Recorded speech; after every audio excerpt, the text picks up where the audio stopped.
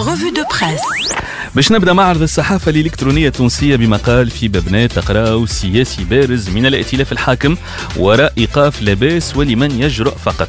البارح وخلال مداخلته في برنامج اليوم الثامن المحامي عبد العزيز السيد محامي قناة الحوار التونسي قال اللي ثم السياسي سلط ضغوطات على الهيئة العليا المستقلة للاتصال السمعي والبصري المعروفة أكثر بالهيكا باش توجه عقوبات ضد برنامج لمن يجرؤ فقط وبرنامج لاباس عبد العزيز السيد كشف إنه هشام السنوسي عضو الهيئه العليا المستقلة للاتصال السمعي والبصري هو اللي قال له بالحرف الواحد اللي سياسي بارز من الائتلاف الحاكم هو اللي يقف وراء قرار إيقاف الزوز برامج.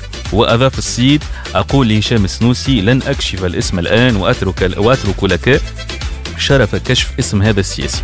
هذه تصريحات عبد العزيز السيد ظهر لي بعد الكلام هذا مقعد قدام سي هشام السنوسي وقدام الهيكا كانت ترد على الموضوع وتكشف الحقيقة للتوانسه اللي لو ثبتت فإنه الموضوع أصبح خطير بالحق. رانا نحكيو على هيئة عليا مستقلة مسطر على مستقلة للاتصال السمعي والبصري. عاد كان هي مستقلة وتاخذ في إملاءات وتمارس عليها ضغوطات من السياسيين ومن الحكومة بلاش بها خير هالهيئة هذه. يلزم توضيح الموضوع للشعب التونسي ويلزم الهيكا كيما توقف برامج اللي تقلق السياسيين. تتلاقي شوية زاد بالقنوات التلفزية والقنوات الإذاعية خاصة اللي قاعدة تبث بطريقة غير قانونية إلى حد اليوم وقاعدة تسرق. بين ظفرين ونسطر زاد على كلمة تسرق في الذبذبات اللي هي ملك المجموعة الوطنية. كان الهيكا تتلاب الموضوع هذا خير نمشي للصباح نيوز تقرأ مقال عنوانه بعد تصريح العكرمي للصباح بأن الباجي لا يؤمن بالديمقراطية السبسي يرد النار تخلف الرماد. الحكاية بدأت بتصريح القيادي في نداء تونس الأزهر العكرمي للصباح قال فيه إنه الباجي قائد السبسي لا يؤمن بالديمقراطية.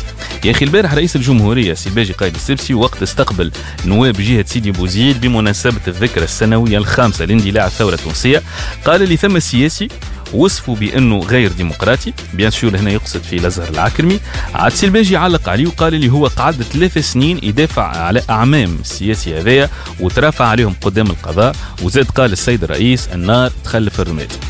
في الجهة الأخرى في الجهة المقابلة سي الأزهر العكرمي صرح لآخر خبر أونلاين وعلق هو بيدو على تعليق السبسي عليه وقال سي العكرمي أذكرك بتاريخك في إنكار الديمقراطية والرماد هو ابنك ابنك حافظ.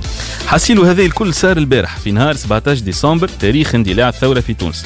سيبوا قضايا الثورة وقضايا الناس اللي عاشت الفقر وضحت برواحها واللي مازالت تضحي إلى اليوم وإلى اليوم قاعدة تعاني وتلهي كل واحد فيهم يسب في الآخر ويعلق ويقول النار والرماد واللي كنتوا تسمعوا فيه الكل.